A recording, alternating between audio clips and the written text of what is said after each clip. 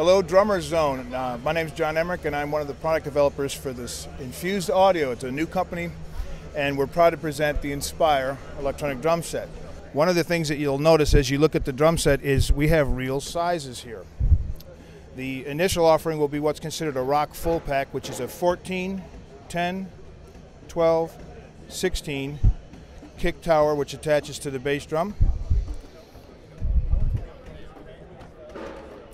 You'll also get the hi-hat and the module, and it comes with a copy of BFD Eco NFUZD, the world's first electronic cowbell. It's a two-zone actual cowbell. Functions just like a regular cowbell. It'll also include these nifty little shell mounts so you don't have to use a drum set if you don't want to.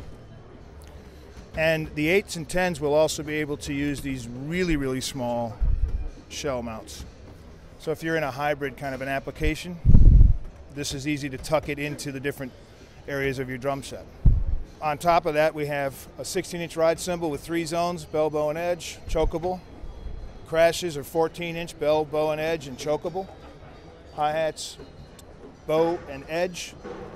Full control, continuous controller. You also have the foot and the splash. The, the module itself uses four independent sample zones, so there's no ADSR tricks or anything like that. You actually, when you get it to about a quarter sound, you'll actually have the quarter sound.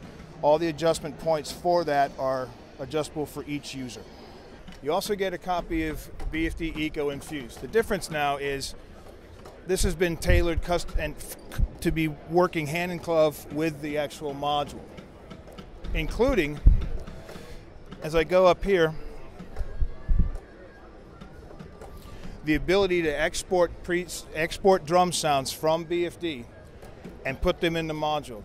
Then you have the VST quality in your module. You can leave your computer at home and go do your musical engagement. First, that's a first for any company.